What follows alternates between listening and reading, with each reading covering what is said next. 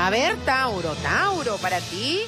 Vamos a ver cómo están ese, esos signos ah, responsables del zodiaco. A ver, Tauro, ¿cómo vas?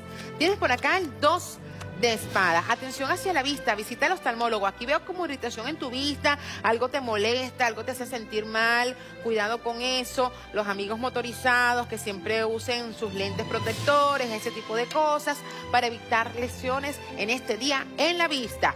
Tauro, tienes la carta del 10 de oro y el as de oro. Aquellos que están pensando o están trabajando duro para conquistar algo con un inmueble, bien sea una mudanza, bien sea un arreglo, algo con un inmueble se da, se concreta se cristaliza. Amén, que así sea. Tauro, hacia lo que es la parte de la salud tienes que cuidarte mucho el tema de la circulación y los valores. Hay algo que está allí como un poco desbalanceado. Recuerda que de diciembre pasa su facturita, todos los excesos de diciembre pasan su facturita y no estaría de más, Tauro, hacerte un perfil 20, a ver cómo están esos valores, cómo está el colesterol, los triglicéridos y esas cosas, ¿eh? Tienes por acá la carta del loco, la emperatriz.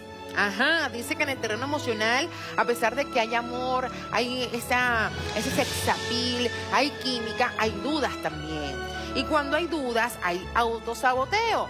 Entonces es importante luchar contra esto, Tauro, si realmente quieres darte el permiso de disfrutar de tu relación de pareja.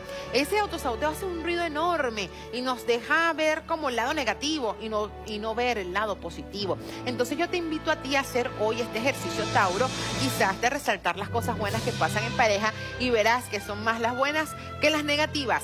El mensaje para ti, dice aquí la carta de la postergación, que si tienes algo que eh, postergar, que lo hagas, que no hay mal que por bien no venga. Y también te dice que sueltes las tristezas, que bajes dos al estrés y que todo tiene su momento y que hay que cerrar ciclos que sean necesarios cerrar. Ya lo sabes, Tauro. Vamos ahora con los amigos de Virgo. Atención, Virgo, para ti. Virgo. Veamos cómo te aspectas en este día maravilloso. Virgo, para ti. Virgo. Abres por acá con copas, la carta de el juicio, el juicio. Dice aquí papeles, documentos, movilización de documentos, poner cosas al día. Dice acá cosas que venían como, venían como atrasadas, es el momento de hacerlo. Ese 10 de espada, el 4 de espada dice paciencia, porque el 10 de espada está como la tendencia al conflicto. Pero tú con tu energía puedes revertir y puedes cambiar todo eso. La carta de la rueda de la fortuna y la carta del mundo dice vas a correr con suerte. Los cambios que vienen van a ser productivos para ti. Y la carta del Rey de Oro dice, la persona que sube peldaños, crece, evoluciona. Buen momento para em, dejar por sentado quién eres y hacia dónde vas, hacia lo que es tu parte profesional. Buen momento para darle una lección a más de uno que de repente está allí como poniendo en tela de juicio rendimiento profesional. Hacia lo que es la parte emocional, tengo que decirte que em, más, más, más presencia y más como apoyo, sobre todo a aquellos virgos que viven en pareja ya, que están eh, conviviendo. Aportar. Recuerden que en las relaciones modernas los hombres también tienen que ayudar a las mujeres y las mujeres a los hombres. Entonces vamos a buscar ese equilibrio en tu casa para que se sientan pues que van los dos por el mismo sendero. Ajá. Vamos Virgo, que tú puedes. El mensaje para ti, la carta del cambio. Importantes cambios que se van a estar suscitando ni que eh, van más allá de lo que tú esperabas. Así que bien por ti, siempre trabajar en equipo, siempre buscar esa unión. Recuerda siempre que en la unión está la fuerza. Vamos con los capricornianos. Capricornio, para ti, veamos Capricorniano, cómo se aspecta tu día hoy. Capricornio. Capricornio, tienes por acá la carta de la sota de oros y el cinco de espada. Bueno, Capricornio, ajá. Hoy mucha precaución en tu sitio de trabajo, Capricornio, porque te sale el arcano de la torre justo al lado del trabajo. Entonces, hoy se puede malinterpretar alguna situación por allí.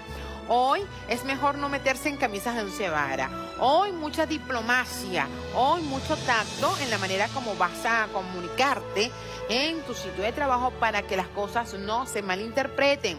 La carta del colgado y el tres de oro dice que hay que organizarse bastante hacia lo, que es el aspecto económico, establecer no solamente prioridades, sino también como una agenda, una agenda de trabajo, más orden, más planificación.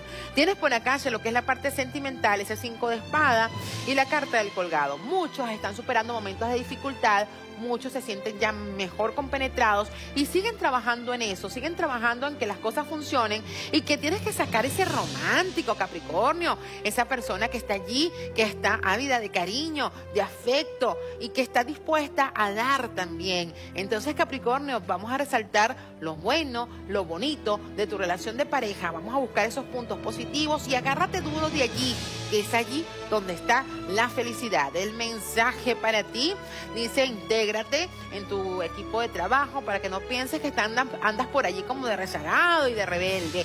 Y también ten el valor de afrontar las situaciones en el momento que se indiquen. Eso sí, en el momento que sea el, el idóneo, ¿no? Por ejemplo, hoy te dicen mucha cautela y mucha diplomacia. Busca el momento idóneo para sacar ese empuje de valor y enfrentar las dificultades. Ya lo sabes, Capricorniano, Capricorniana. En la próxima parte estaremos dándolos con todos. Mi equipo de producción sale a la calle a ver qué me pregunta la gente en la calle y también a través de nuestras redes sociales, arroba y Edi Montilla 5 en Instagram. Allí estoy para ti. Breve pausa y ya venimos con mucho más del secreto está en ti.